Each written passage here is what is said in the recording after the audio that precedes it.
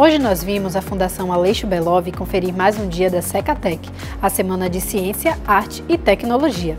Por aqui, as exposições fotográficas, as oficinas interativas e as palestras sobre os trabalhos produzidos dentro da UFBA aproximam o público da nossa universidade.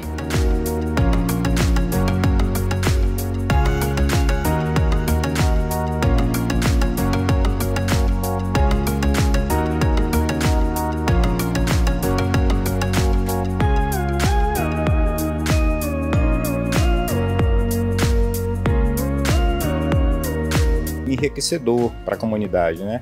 Então, para o colégio público que tem a distância da faculdade, que é aquela visão que é muito difícil chegar lá, então esse acesso gratuito, então é muito positivo, somador, realmente para quem está participando.